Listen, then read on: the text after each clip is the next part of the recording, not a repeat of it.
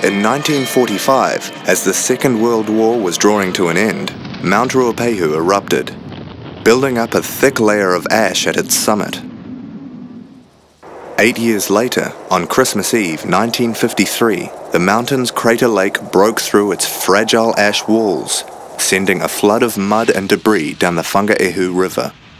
When the lahar reached the railway bridge at Tangiwai, it swept away a pier on the bridge that had been weakened by a previous lahar in 1925. Oblivious, the Wellington to Auckland Express was heading for the bridge at full speed. The driver saw the lahar and braked, saving the back half of the train, but too late to stop the locomotive and the first carriages from collapsing the damaged bridge and plunging into the river.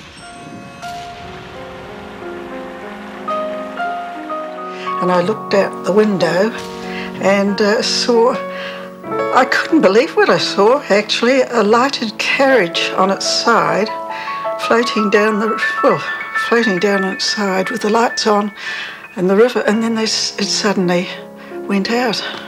Suddenly, darkness.